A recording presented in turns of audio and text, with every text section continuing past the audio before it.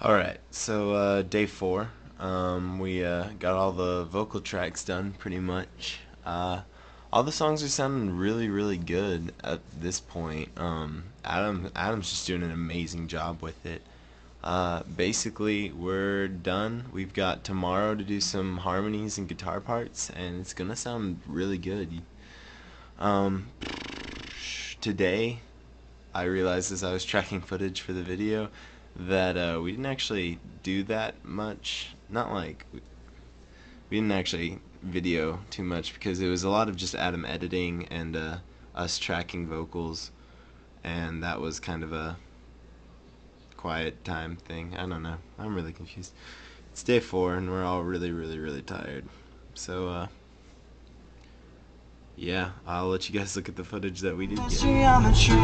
Oh man, this freshman year is haunting me. I think I'm going insane.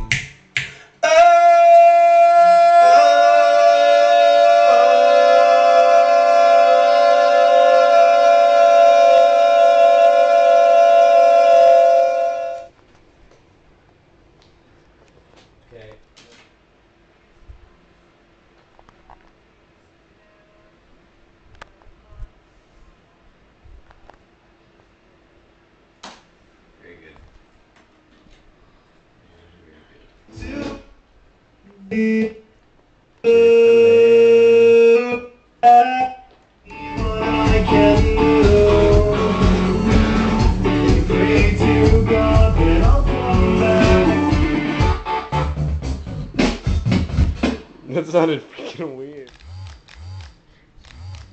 Ooh.